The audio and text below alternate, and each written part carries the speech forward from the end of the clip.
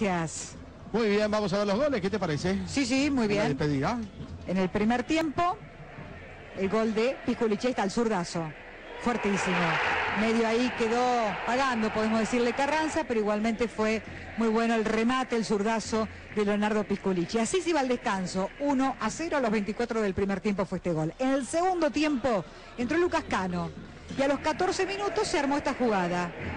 Un pase, allí la va a tomar después Piculici. Fueron construyendo, creciendo en bloque.